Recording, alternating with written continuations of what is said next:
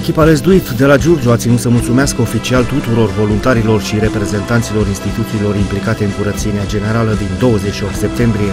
Așa se face că sâmbătă seara staful județean al Lesduit a organizat o conferință de presă la care au participat voluntari și simpatizanți. Ne-a încurcat puțin ploaia planurile, însă cel mai mare respect la giurgiuvenii care astăzi au avut uh, răbdarea de a aștepta să se potolească ploaia sau unii au venit echipați cu pelerine și au arătat că se poate. Un gest mic, chiar dacă nu uh, a fost soare de la prima oră, soarele a fost în sufletul nostru și am fost cu toții o mare echipă. Din tot sufletul vă transmit, uh, transmit tuturor giurgiuvenilor care astăzi au fost alături de noi. Din tot sufletul felicitări și respectul nostru cel mai mare. Vă așteptăm și la acțiunile următoare pe care intenționăm să le organizăm.